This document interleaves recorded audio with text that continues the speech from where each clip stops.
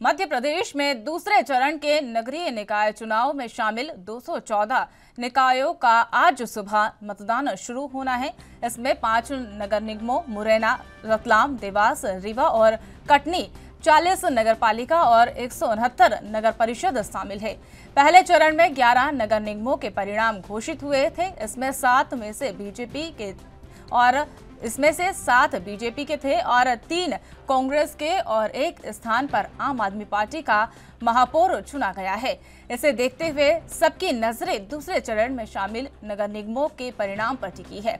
वहीं इस मौके पर राज्य निर्वाचन आयोग के अधिकारियों ने बताया कि मतगणना के लिए पूरी तैयारी कर ली गई है और हर मतगणना केंद्र पर सुरक्षा बल तैनात किया गया है।